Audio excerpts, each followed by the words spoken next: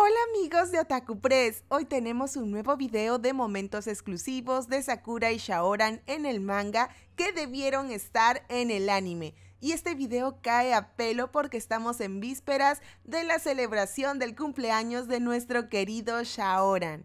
Como no son pocos momentos, esta va a ser la primera parte y vamos a seguir el orden cronológico, así que si les gusta esta idea, dejen muchos muchos likes y suscríbanse al canal de Otaku Press para preparar una segunda parte del video. Antes de empezar, les cuento que estoy basándome en el manga en español de Carcaptor Sakura, la serie original, y utilizo la edición deluxe de la editorial Camite de México. Por cierto, este mes de julio se concluye la publicación de Car Captor Sakura, los nueve tomos gracias a Kamite y ojalá, ojalá de verdad tengamos pronto nuevas novedades sobre alguna próxima publicación. Recuerden que también tenemos una entrevista con Kamite sobre este tema, así que la pueden revisar en Otaku Press. Si te gustan las chicas mágicas como Sakura y Sailor Moon, recuerda suscribirte al canal de Otaku Press y activar la campanita. Ahora también puedes apoyar directamente al canal convirtiéndote en un miembro del Otaku Power de Otaku Press. Las suscripciones van desde un dólar y a cambio tendrás acceso a contenido exclusivo sobre anime, manga y videojuegos.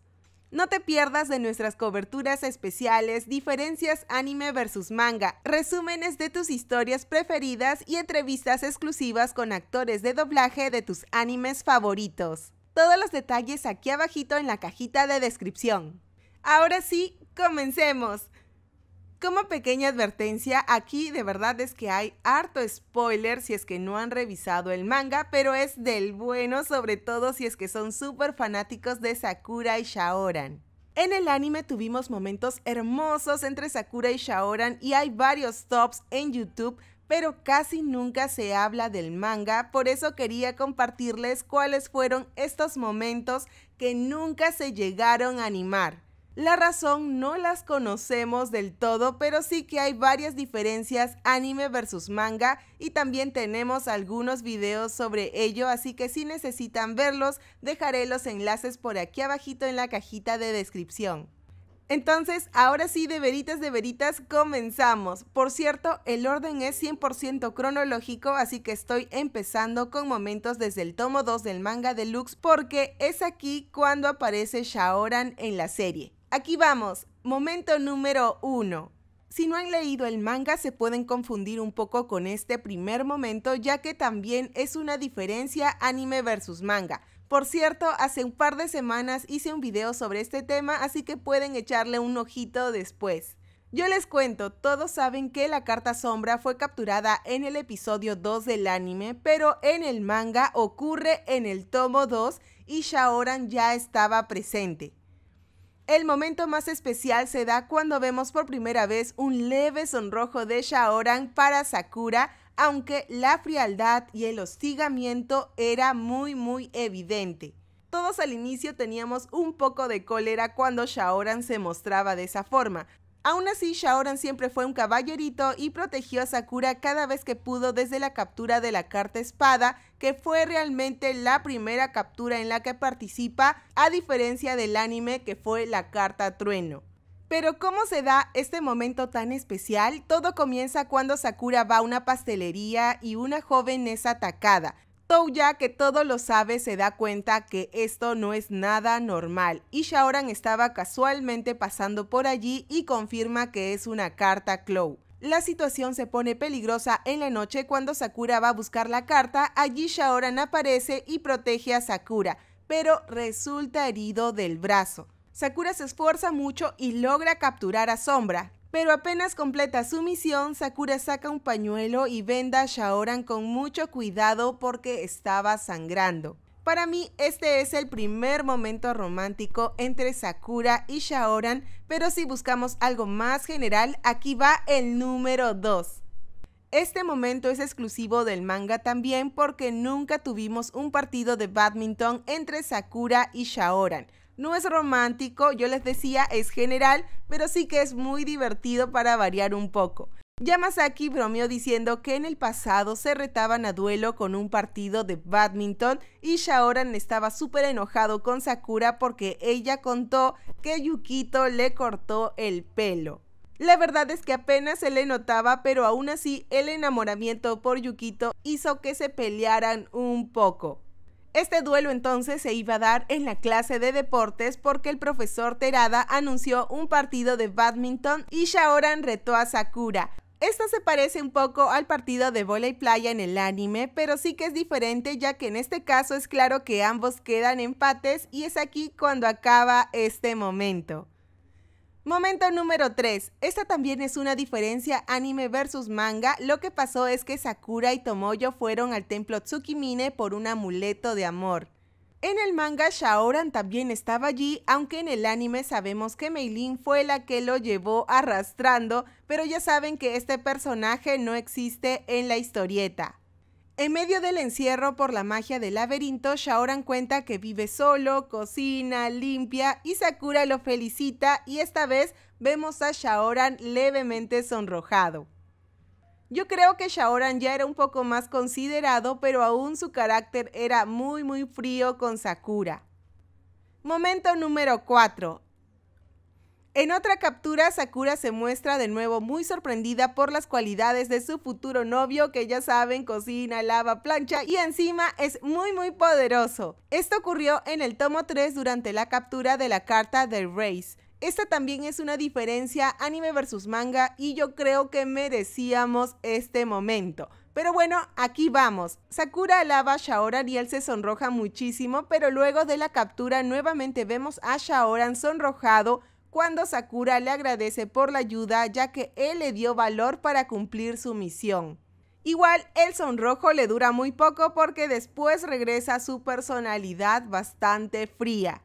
Y bueno, para acabar este día también vemos otro momento pequeñito cuando estaban en la playa con sus trajes de baño porque Shaoran se vuelve a sonrojar cuando Sakura le reitera el agradecimiento por su ayuda. Ahora pasamos al momento 5. Aquí hay algo que no he mencionado antes, pero en el manga hubo varias pistas sobre la identidad de Yue Creo que varios ya lo sospechábamos desde antes y es que este es uno de los capítulos y por cierto ya estamos en el tomo 4.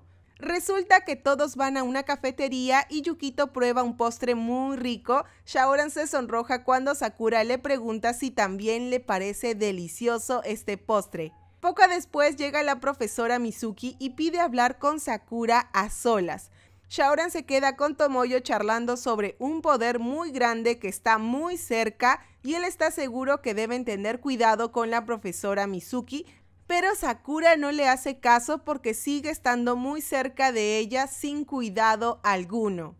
Tomoyo entonces hace una gran pregunta, ¿por qué se preocupa tanto por su rival de las cartas Cloud si sería para él muchísimo mejor si la profesora Mizuki fuera un enemigo y estuviera detrás de Sakura? Shaura no sabe qué responder, se hace loco y al irse Tomoyo le habla disimuladamente y le dice que Sakura es un poco lenta, pero que tenga paciencia. Y aquí amigos, Tomoyo ya se había dado cuenta que Shaoran se estaba sonrojando con Sakura y probablemente se refería a posibles sentimientos románticos de Shaoran para Sakura. Momento número 6. En el anime la captura de la carta fuego ocurrió por las fechas de Navidad, pero en el manga no hubo parque de diversiones ni nada similar como vimos en la adaptación.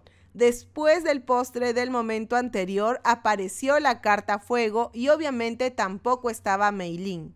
El momento Sakushao aquí es que Shaoran protegió nuevamente a Sakura ante la aparición de fuego Luego Sakura intentó usar agua sin éxito y lo mismo ocurrió con viento y fue Shaoran quien le daba apoyo más que el propio Kero a diferencia del anime que tuvo Kero mucho más protagonismo. Y bueno, al final ya sabemos que Sakura captura la carta fuego y otro datito extra es que Kero recupera su forma original luego de esto. Después llega otro momento muy especial para nosotros y este creo que le gana definitivamente a los que estaban en la lista.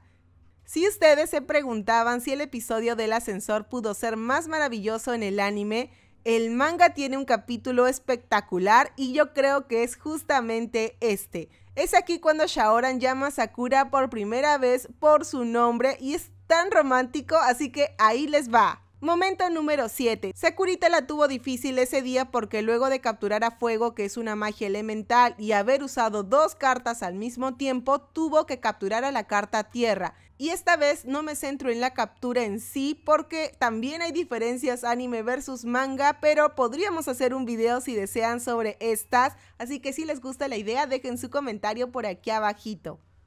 Regresando con el maravilloso momento del cual les hablaba, Sakura se cae y Shaoran rápidamente la ayuda, pero cuando estaba por levantarla hay otro fuerte terremoto y Sakura cae nuevamente. Entonces Shaoran grita Sakura con todas sus fuerzas y parece que se había roto algo dentro de él porque estaba impactado. Felizmente Kero reacciona y con su forma original salva a Sakura. Sakura obviamente escuchó que Shaoran la llamó por su nombre y le pregunta si puede llamarlo también por su nombre. Shaoran entonces se sonroja tan lindo como siempre y bueno, Kero mata este momento romántico cuando dice que ya dejen de coquetear y que se enfoquen en la batalla. Así acaba esta escena gloriosa, muy linda de verdad. ¿Cuál ha sido entonces su momento favorito hasta el momento? Recuerden que recién vamos en el tomo 4 y son 9 tomos en total de la historia original de Carcaptor Sakura.